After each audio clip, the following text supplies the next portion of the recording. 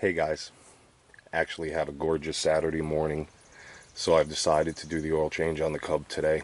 Ground's still pretty yucky, so um, I'm going to opt to do the oil filter first.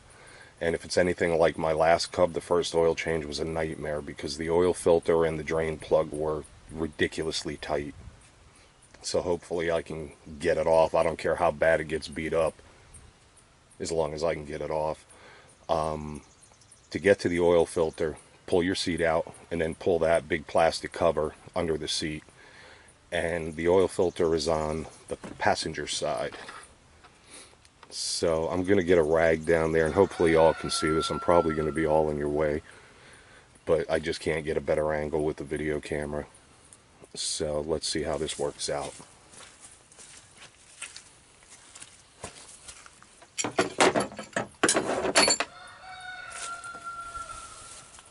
I'm going to try and do something different with this because I know for a fact I'm blocking this completely.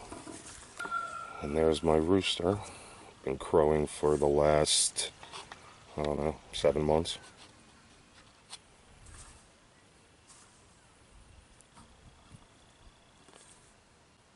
Let's see how that works out. Okay, and this is the oil filter right here, and it's not in a very good spot to begin with. So I have a cup which fits the new filter, but I'll never put it on tight enough to probably need that. And I have this expansion tool also. But because of how close it is to the block and the starter, I don't think this is going to work. However, we are going to give it a shot first.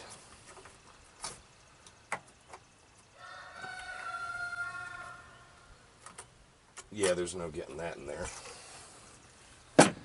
So, what I really didn't want to do was use this oil filter last resort wrench. Oh, and I should mention, I have a rag down here to catch the oil that's bound to spill out of the filter, just to prevent most of it from running down the side of the block.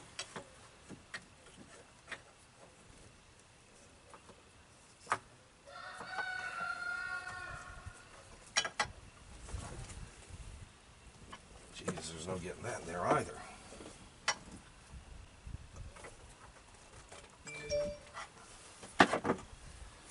Alright, so what we're going to do as a last resort is I'm going to try and bang this other cup over the oil filter using a uh, a persuading tool. I'll be right back. Alright man, I've tried everything. Even channel locks, a strap, and this thing does not want to cooperate. So what I'm going to do now, I do not recommend doing. The oil filter adapter on this is actually part of the block. On a lot of applications, the oil filter adapter is replaceable. But it is not replaceable on this particular engine. And I have every intent of changing this oil filter if I have to tear the engine out, lay it on its side to do it. So I'm going to take a long screwdriver and I'm going to try and make a dent in the lip of the filter. And then I'm going to try and use that dent as leverage to turn it by hitting it. And if this doesn't work, I very well may have to yank the engine out.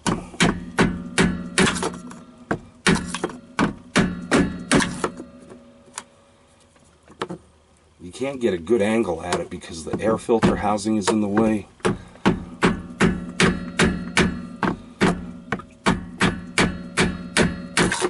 Good grief. This is annoying.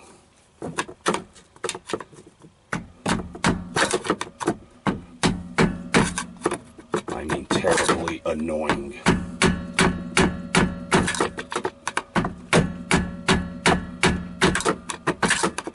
Can you believe how tight this filter is?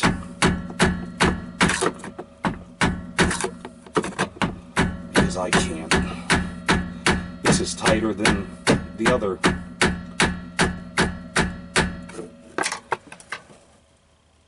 Challenger I had. And that thing didn't budge.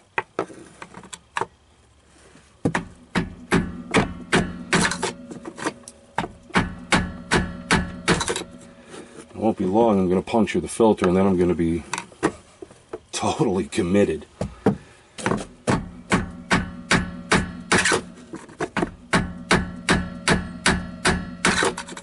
It's starting to move finally.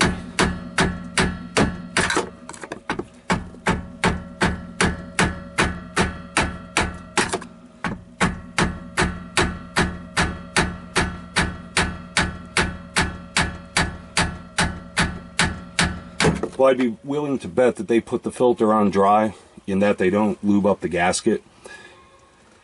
And that's probably part of this issue. And yeah, we have a hole in the filter now. So now we're in knee deep.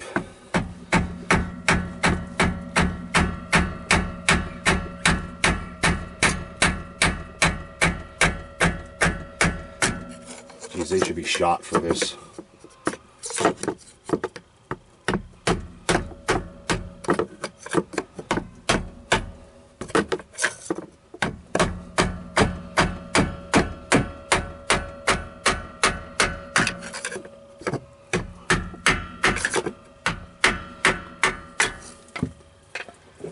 Maybe. Now it'll spin out by hand. Yeah, right.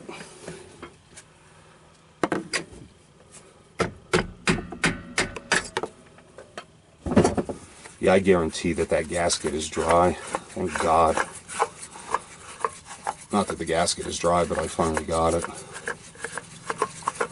And this oil change is due way before they recommend it. But, and you can't tell if the filter gasket was dry or not because the oil leaks all over it as you're spinning it out. So, Alright, we didn't hurt the housing, which is a good thing. So now something about these filters that I think is worth mentioning is the gasket. If you look at the O-ring, it's rounded. When I changed oil for the first time on my other one, the gasket was flat on top and it leaked like a sieve. So I recommend making sure you get a filter with the correct gasket. So now we're going to grab the new one and put that on. Okay, so here's the new filter, and that's the part number that fits my uh, 750 China. So I'm going to lube up this new gasket. I will never have it on as tight as they did, so I won't go through that again. But you just want to get that slicked up pretty good so that you don't have to worry about it adhering to the aluminum housing when you tighten it up. And thankfully the cup that I have does fit this anyway. And one thing you want to make certain of as well is that the old gasket from the old filter doesn't stay stuck to the um, to the engine because that thing will leak like a water fountain if you don't catch it and you start it.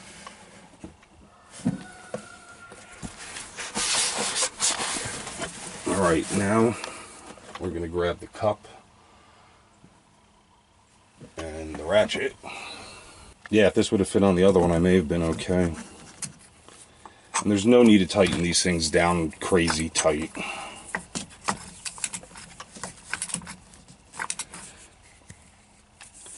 Okay, that's as tight as I'm going with this.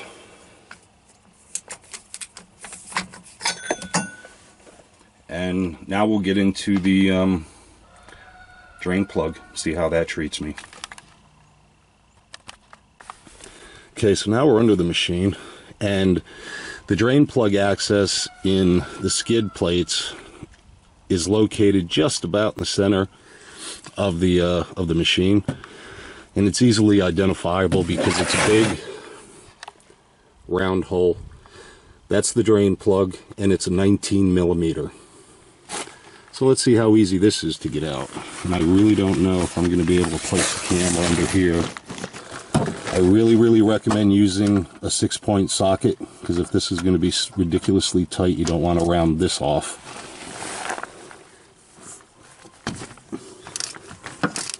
Huh, I'm impressed. It wasn't really, it was actually where it should be as far as tightness goes. And I should also state that I um, I let the engine run about three or four minutes just to warm up the oil. I'm going to let this drain for a while to get as much of the old oil out as I can.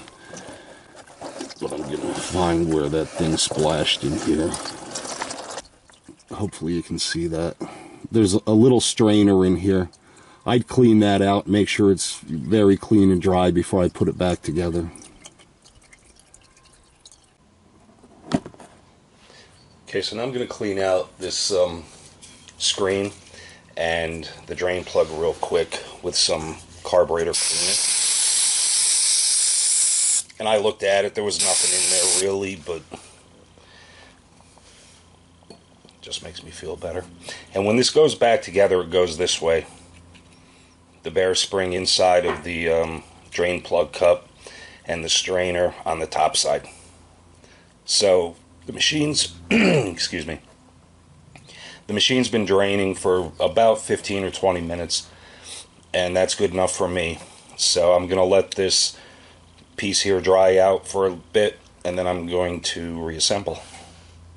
And I should mention too that I am going to put a little bit of oil on this rubber O-ring that is um, on the drain plug. Okay, everything's dried up. I lubed up the um, the O-ring on the drain plug. So now we're going to put this back together. And since it's spring loaded now, it does take a little bit of effort to get the drain plug started again. It feels like somebody's got their hand in there pushing back on you. You know what? It's. I'm going to move my drain pan in case I drop it. I don't want to drop it in the bucket of dirty oil.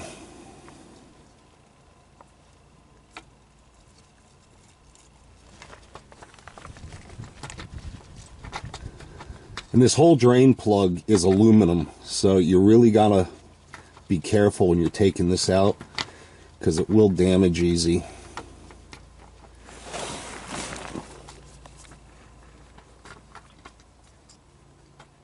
And you definitely don't want to cross thread it. Well, that took more effort than I really wanted to put into it. And I recommend making sure you can tighten it up most of the way by hand to ensure that it's not cross threaded. Any mistake could be expensive. And then we're going to snug that back down. And this doesn't have to be very tight either. I don't know what the torque specs are on this, but we're just going to snug it up. And that'll be that. Now we're going to put oil back in it.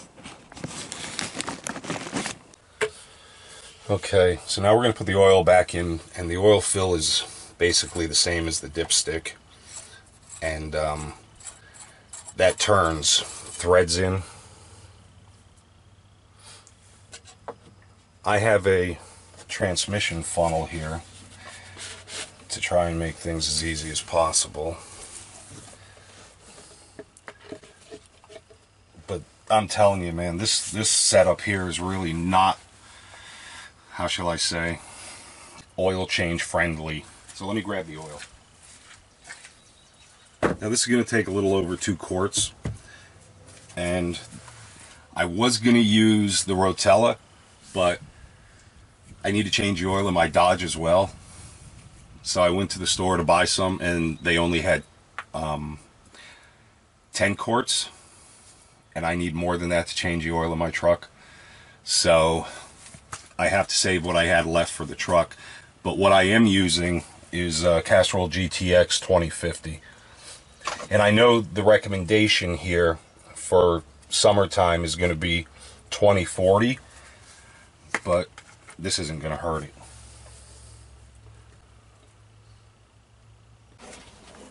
Okay, the oil is in it. And it's my understanding to get an accurate reading on the dipstick, you need to screw it all the way down and then unscrew it and check the oil level. So this took just a little over two and a quarter quarts. Um, that's overfilled on the stick, but we've yet to start it to fill the oil filter. So we're going to start it. And two things I like to do right after an oil change is one, clean up any spilled oil in case you do have a leak. You'll be able to see it a lot easier than wondering if that's oil you spilled or if that's leaking oil. And two is I don't like to just start the engine and let it run with an empty oil filter.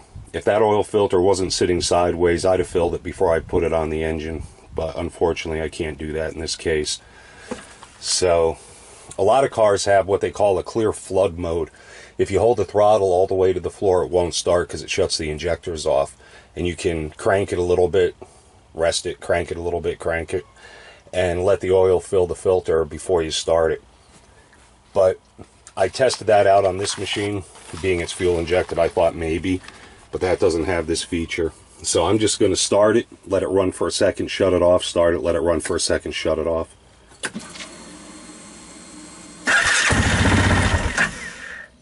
Just to let that filter get filled. With an empty filter, your oil pressure tends to be zero or very low, and that's a bad thing.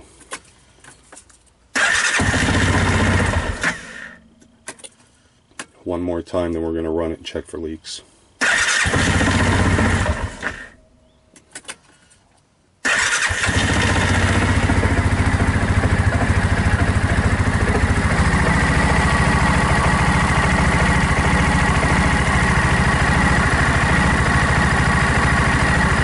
so far so good. I don't see anything on the top or the sides of the filter. So I'm going to guess that we're in good shape there.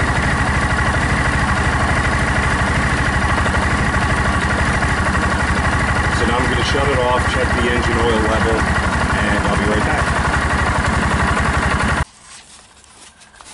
Okay, so it's um it's finished. Took it for a little blast, double checked for leaks everything's good to go. The oil level is good, and it did take just a little over two and a half quarts with the filter change.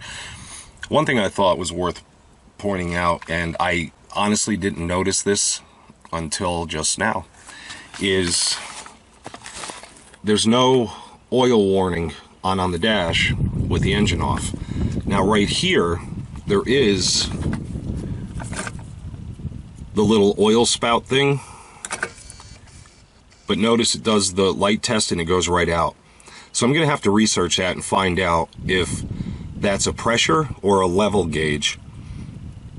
It, I, I can't imagine that there's no way the dash can tell you or cannot tell you that you don't have any oil pressure even if it is full. So that's a little unnerving, quite honestly. And if it turns out that I find out it's just a level I'll probably put a mechanical gauge in it.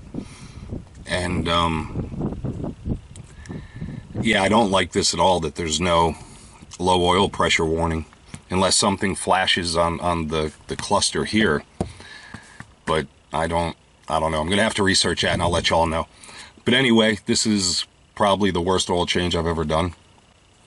And I've done a zillion oil changes on everything tractors, dozers, cars, trucks, side by sides, motorcycles. And this was terrible. Next time it'll be easier because the filter isn't crazy glued on. But um, anyway, if you stuck it out through this whole mess, I appreciate it. You guys have a great weekend. And uh, oh, I may do a smoked chicken tomorrow, an entire chicken. So if you're interested in that kind of stuff, watch out for that video. All right, you guys take care and talk soon. Oh, wow, ladybug.